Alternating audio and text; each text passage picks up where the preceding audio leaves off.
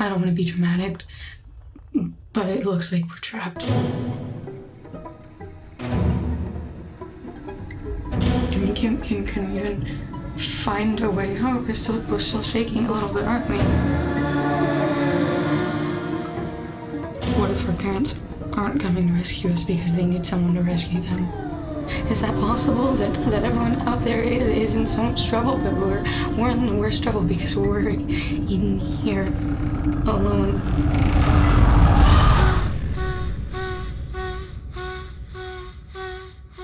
I saw someone. We were in every room. Were we? He's inside. He knows there are girls here. I'm not playing that game. What game? Whatever it is you're doing.